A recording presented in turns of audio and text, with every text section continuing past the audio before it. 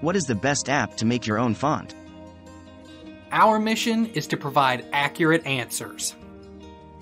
iFontMaker is still the best tool for creating a font.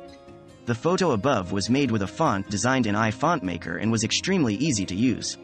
Creating your very own font can take less than 5 minutes and be made just by using your fingers.